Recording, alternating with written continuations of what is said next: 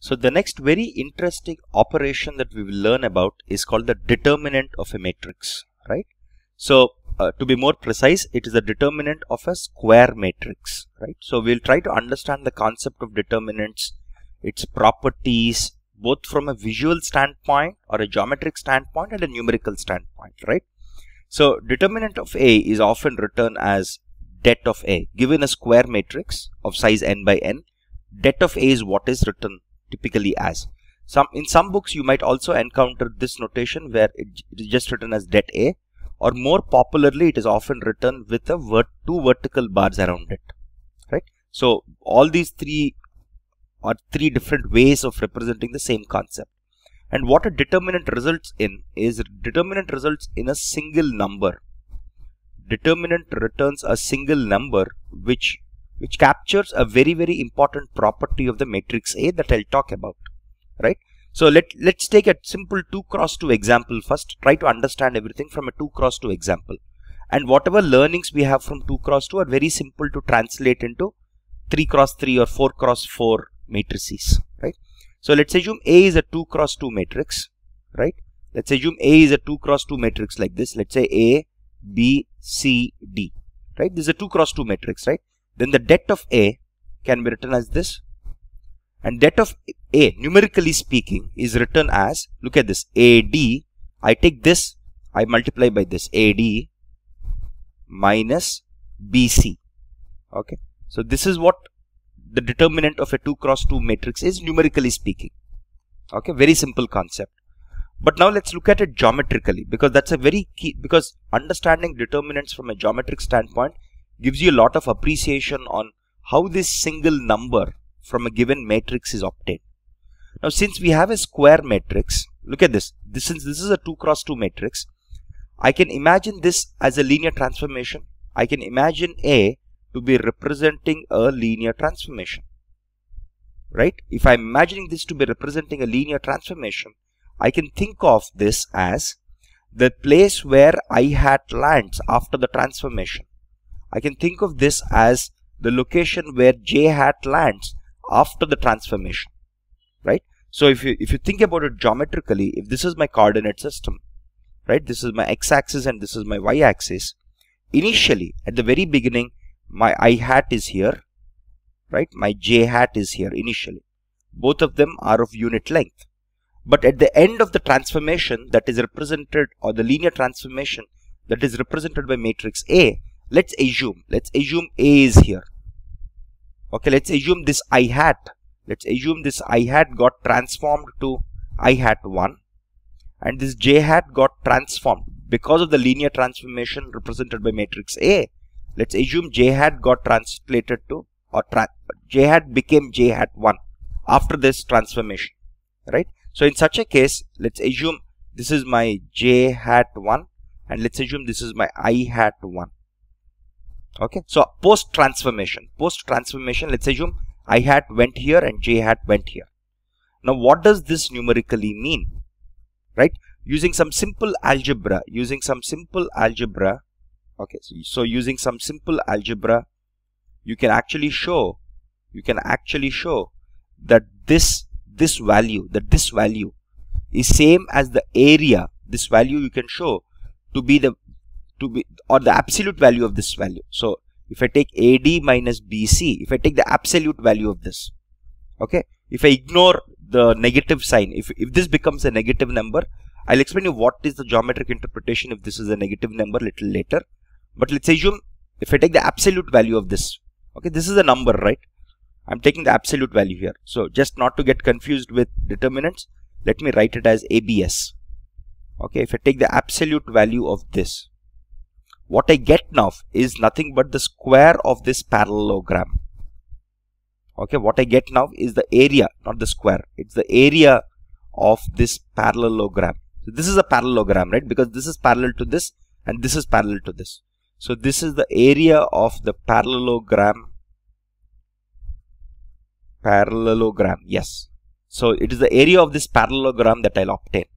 So what a determinant represents, if you think about it from a 2 cross 2 matrix perspective is, if it, it represents the area that is obtained of the it represents the area of the parallelogram that is obtained from the transformed i hat and j hat okay? And this transformation is represented by this matrix a. That's what it means. Again we can see a very simple proof for this uh, using some simple geometry again i'm taking this from uh, 3 uh, 3Blue1Brown right? So let's assume this is where my okay look, let's look at this right? If this is my i1 hat okay and if this is my j1 hat okay the area of this parallelogram now look at this the area of this whole parallelogram okay using some simple some simple algebra and some simple hacking around I can show is equal to AD minus BC so th this proof is very simple. I'm not going to go into the depth of it because it is just simple right angle triangles and squares. Look at this. Look at the look at the area of this whole square. The area of this whole square is AB or A plus B. Look at this. The area of this whole square or sorry the area of this whole uh, rectangle not the square is a plus b. Look at this. A plus b. Right? This is the area of this uh, square. Uh, so this rectangle is a plus b multiplied by c plus d right? This is the area of this whole rectangle. From that rectangle from this rectangle I'll, I'll have to remove the area of this the area of this the area of this the area of this the area of this and the area of this to obtain the area of this parallelogram right? That's what I have to do right? And if you notice I have I have a rectangle here whose area is BC that's why you have BC I again have one more rectangle whose area is BC so I have 2 BC I have a right angle triangle here whose area is AC by 2 here I have a right angle triangle whose area is AC by 2 so if I sum both of them I will get AC because I have to subtract I get minus AC similarly I have BD by 2 and BD by 2 if I sum both of them up I'll get BD so I'm removing that. So if you, if you just perform simple algebraic operations like this, inspired by the simple geometry of right angle triangles and rectangles, okay, the final area of the parallelogram that you will obtain is AD minus BC. Okay, very simple example, nothing very fancy out here. Okay, so so that's what it means, right? So there is another way, there is another simpler way to interpret this. Okay, so what did we say? We said that the determinant of a matrix A is the area of the parallelogram. Okay, again, there, there might be a sign associated with it. I'll discuss about it a little later. At least the absolute value of the determinant, right, is the area of the parallelogram that you obtain based on the I1 hat and J1 hat, which are linear transformations represented by matrix A itself on vectors I hat and J hat, which are the unit basis vectors in the original space. Okay, very simple. This is one way of thinking about it. The other way of thinking, so absolute value of AD minus BC is the area of the parallelogram. Okay. The short form to write parallelogram is this. Two parallel lines and GM. Okay. This means parallelogram. Okay. This is a shorthand way of writing it. Now there is another way to think about it. Instead of just thinking about it from I hat and J hat perspective, there is an alternative way of thinking about it. Let me show you that way also. So imagine, imagine I have, so imagine in my original space, right? In my original space of i hat and j hat, imagine I have some some blob. Okay, I have some shape here in the original space. Okay. Now, A is a linear transformation. Let's not forget that A is a linear transformation. Okay, A is a linear transformation. So after performing the linear transformation on the whole space, how much does this area change? Okay, that is what is represented by your determinant. Let me just play this snippet now. Look at this. Look at this. If you notice, if you notice, the original area was here. The final area of the same blob, after applying the linear transformation, this is the final area of the blob. So if you take the ratio of the final area by the original area, what you get is the determinant of matrix A. Again, this transformation from this blob to this blob happened through a linear transformation as represented by matrix A. Right? I hope i hope this is clear. Okay. So let's let's continue. Okay. Okay this is the final transformation that has happened. Now the other way to think about determinant of a is basically determinant of a right? You can think of determinant of a as the scale as the scale by which by which any area any area transforms or changes due to due to the linear transformation due to the linear transformation due to the linear transformation represented by represented by matrix A. Okay, this is very important. Okay, we just understood that it is the scale by which any area changes due to the linear transformation as represented by matrix A. Okay, that's what is the determinant of A intuitively or geometrically speaking. Okay, we have also shown in 2D. Again, in 2D we've shown that it's the same concept. Now let's take, let's understand a few cases now. There are a few very interesting cases. Okay, the first case we'll think of is, let's take a matrix like this. This matrix is 4, 2, 2, 1. Okay, this is my matrix. This is the 2 cross 2 linear transformation. This is where i hat lands. Okay, this is where i hat lands, which is equal to, let's say, i1 hat. This is where j hat lands. Okay, this is where j hat lands. Now, if you draw this diagrammatically, if you draw this diagrammatically, if this is your x-axis and this is your y-axis, your i and j vectors, if you see, this is 4, 2 and this is 2, 1. If you actually plot them, if you actually plot them, this is where your i1 hat will be and your j1 hat, your j1 hat, your j1 hat is also going to be on the same, on the same line. If you notice this, these two vectors, your i1 hat is nothing but 2 times j1 hat which means they both are linearly dependent. You recall this concept of linear dependence between two vectors, right? So your i1 hat is represented as some scalar multiplied by another vector and hence i1 hat and j1 hat are linearly dependent on one another. Okay. Now what happens to the determinant of this? If you compute it numerically, it is 4 into 1 minus 2 into 2. Okay. The determinant is 0 if you compute it numerically. What about what about geometrically? Okay, if you look at this, your i1 hat was here, your j1 hat was here.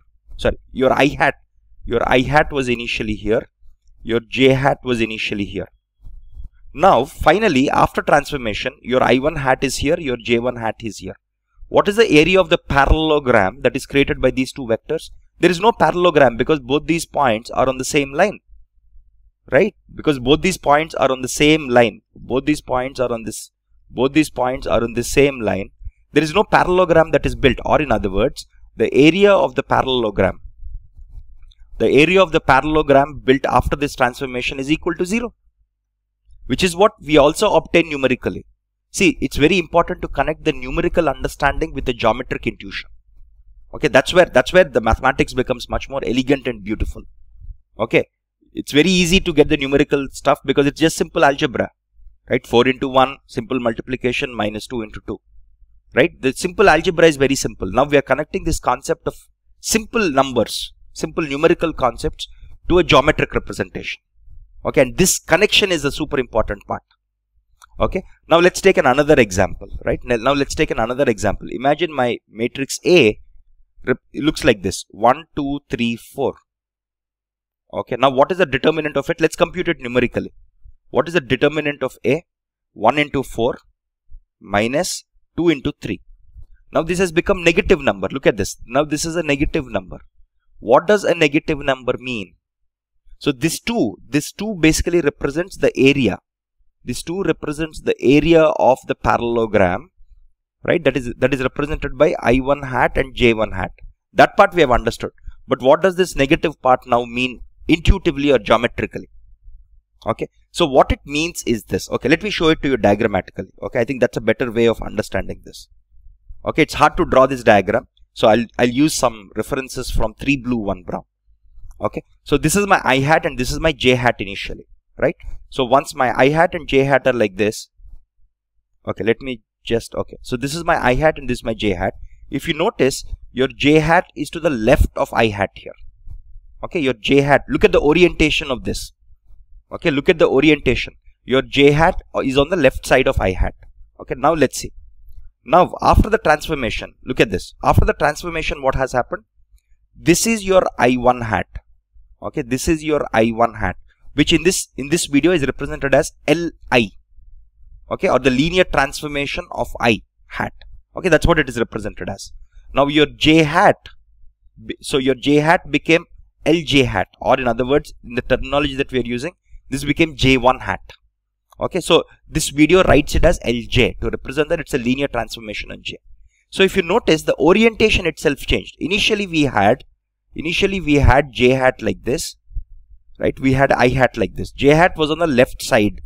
j hat was on the left side of i hat. Now after the linear transformation as represented by this matrix, as represented by this matrix, right? Your i hat, look at this, your i hat. Now the, the orientation has changed, right? Initially j hat was on the left side of i hat. Now i hat is on the left side of j hat. Look at this. Everything got flipped around now. Okay, the orientation got flipped around or inverted. Look at this. i hat is on the left side of j hat. Now, sorry, j hat is on the left side of i hat. Now j hat is on the right side. Look at this. j hat or the transformed value of j hat or j1 hat or lj hat is on the right side now instead of it being on the left side. So the so the orientation, right, or, or the orientation got flipped. So so what happened here was the orientation, the orientation of the space got flipped or inverted. The orientation got flipped or inverted, and hence you have this negative sign here. Okay, so whenever you get this negative sign in a determinant, what it means is that this linear transformation is changing your is changing the orientation of your i hat and j hat. If initially i hat and j hat are like this, eventually, eventually you will have a situation. See, because this is here j hat is on the left side of i hat, and after the transformation, after the linear transformation as represented by a, you will have a situation where your i1 hat, right, your i1 hat is going to be on the right side. So your or, or in other words, your J1 hat is, on, is going to be on the right side of your I hat or I1 hat. Okay, I hope this is clear because there is this inversion. This negative sign literally represents that the orientation got flipped or inverted. Okay, I hope now you have a better appreciation of the whole idea of what a determinant means in 2D. Okay, same thing happens even in 3D. The same concept gets translated even to 3D. Okay, nothing changes. In the case of a 3D, right, your, your matrix A is going to be a 3 cross 3 matrix that represents a linear transformation, that represents a linear transformation, that represents a linear transformation. Again, I'm writing some short form here. It represents a linear transformation in 3D, but in 3D there is no concept of an area. It's going to be the concept of a volume. It's going to be the volume of the parallelogram in 3D or higher dimensional spaces is called as parallelo parallel parallelepiped okay it's it's it's a tongue twister. It's called as a parallelepiped okay i can show a very simple example of that on the wikipedia article. Okay if you just go to the wikipedia article which is fabulous look at this. The wikipedia article also shows this transformation in 2d look at this. The wikipedia article shows very clearly in 3d right? The wikipedia article shows very nicely in 3d what happens in a 3d case. It is a volume of the parallelepiped okay that you obtain by taking. Look at this. Because you are i because you have three basis vectors right? You have i j and k. Now i will get transformed to i1 hat j will get transformed to j1 hat and k would get transformed to k1 hat right? Now all three of them since they're getting transformed to a different vector there is going to be a volume that is created by those transformed vectors that volume is what is going to be represented by the absolute value of the determinant that you get. Okay. Now let's look at it from a numerical standpoint. Suppose if I have, if my matrix A, if my matrix A is like this, A, B, C, D, E, F, G, H, I. If I want to compute, if I want to compute the determinant of this, how do I do it? There is a way to write it. I'll show you two simple ways of doing it. The first one is take this first element A okay multiply it with the determinant of this. See because I've taken A I'm ignoring A's row and A's column. So just ignore the row in which A is there ignore the row in which in, ignore the column in which A is there. You're left with this. So compute the determinant of this of this matrix okay? Compute the determinant of this matrix okay minus okay now look at this A is in first row first column and if you sum up both of them, 1 plus 1 is 2. That's why you have a positive sign here. Now B is in first row, second column. If you sum up 1 plus 2, it's an odd number. Since it's an odd number, you have minus 1. Minus 1 multiplied by B. So now ignore the B's row. Now, now ignore the B's row and the B's column. So you're, you're going to be left with DF. Look at this. DFGI. Right? If you ignore the B's row, B's column and B's row, right? You're going to be left with DF and GI. Okay. Next, let's take C. C is in first row and third column. If you sum 1 plus 3, you get 4, which is an even number. So you'll have plus 1 multiplied by C. Now if you ignore C's column and C's row, you're left you're going to be left with D, E, G, H. And now you already know how to compute the determinant of a 2 cross 2 matrix. Okay, so what have, what have we done? We have taken the determinant of a 3 cross 3 matrix and we have represented it as determinant of 2 cross 2 matrices.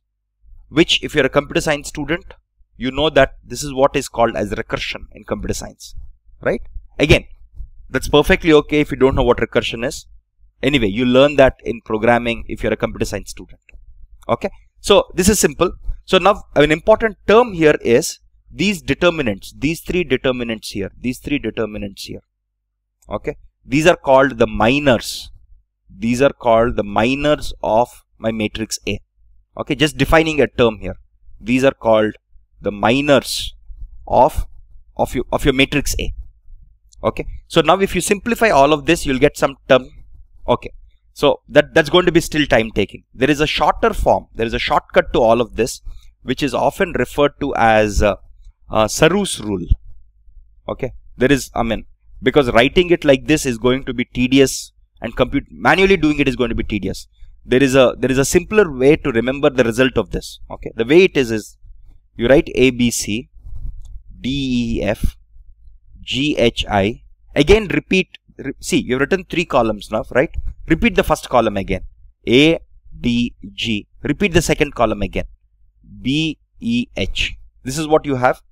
Now what Sarrus rule says is multiply all three of them. A, E, H plus multiply all three of them. Okay. B, F, G. Then multiply all three of them.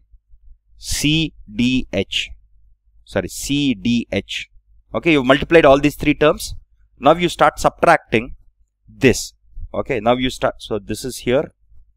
Okay uh one second so this is here. Yeah so you start subtracting. Let me change the color here. Okay B E G B E G. Okay then you sub then you perform C F H minus C F H minus did I write it correctly? I hope I wrote it correctly. Okay so this is here one second. So abc sorry sorry sorry. I messed it up. I should write it carefully. I think i messed it up. Okay let me write it carefully on a new page. Okay.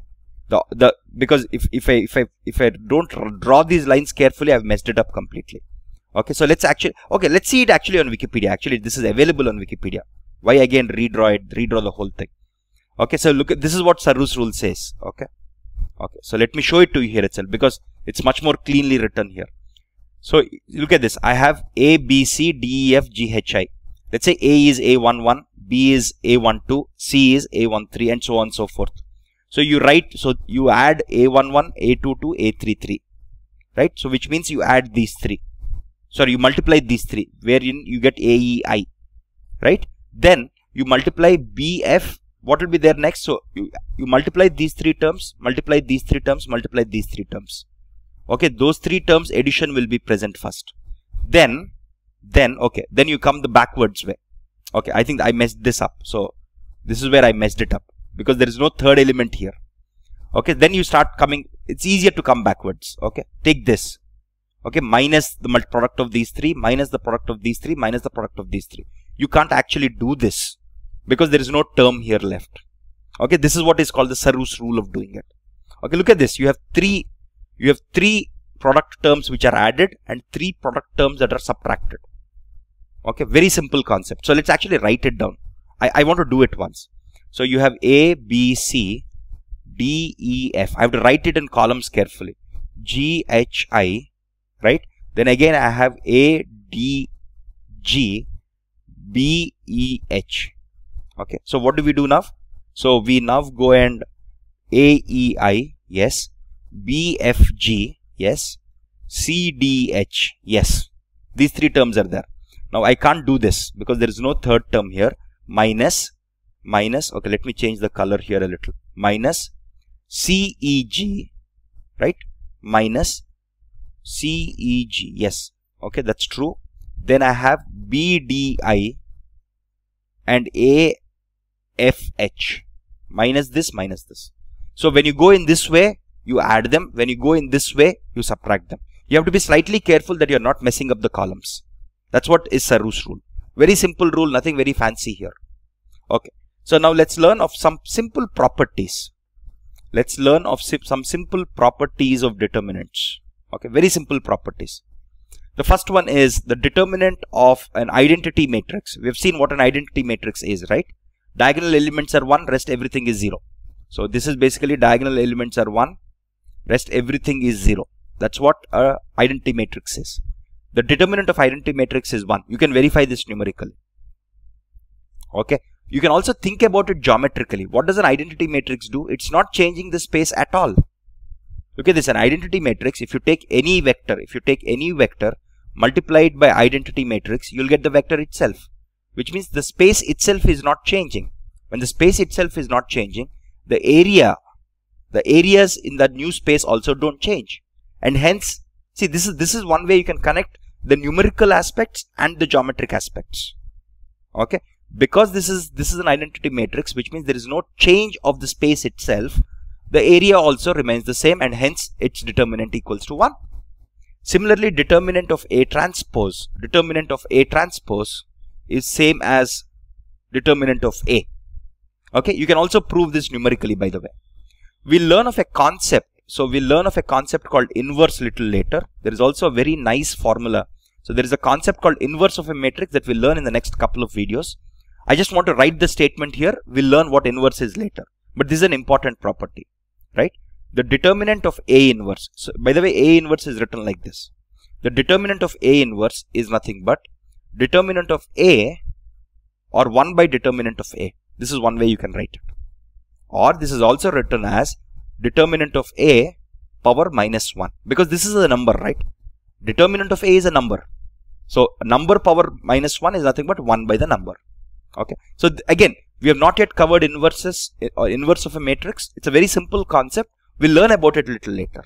Okay? Similarly the determinant of product of two matrices is the is is basically the product of determinants of the matrices okay so this is a very interesting and important property okay similarly if you have a scalar a and if you have a matrix sorry if you have a scalar c and a matrix a the determinant of C into A is, this is a very interesting one.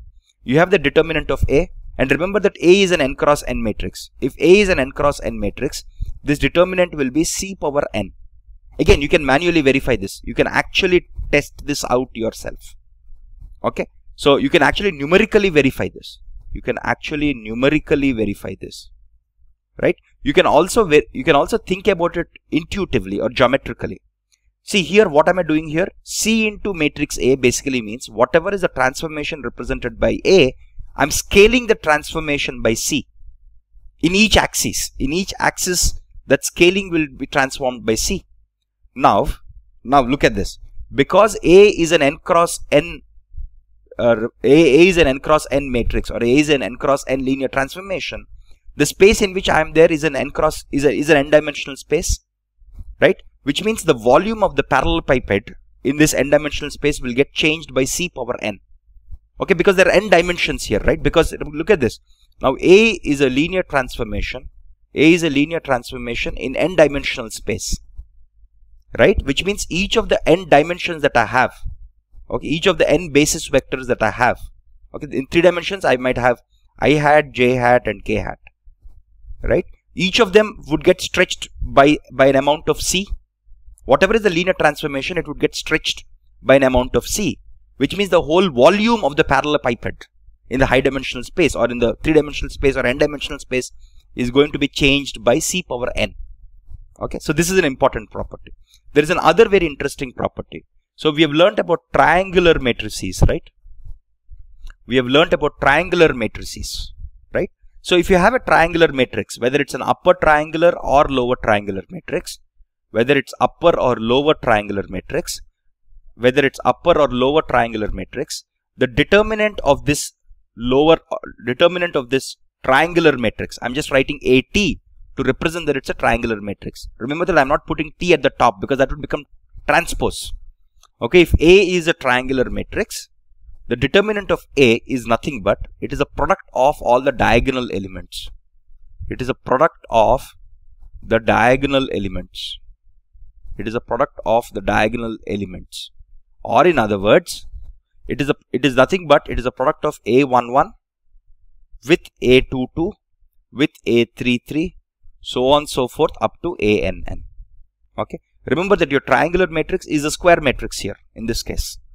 Right. So your the, the determinant of the triangular matrix is the product of the diagonal elements or the product of A11, A22, A33, so on and so forth up to ANN.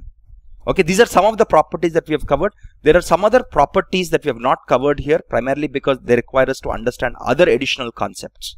Okay, but the best way, but the best way for you is to actually go to Wikipedia. Look at this. All the properties of a determinant are clearly written with lots of nice details on Wikipedia itself. Okay, Wikipedia is probably the best source to get everything at one place to the best of my knowledge. Okay, sounds good. So since we have learned what determinant is, let's learn other concepts uh, in a little while.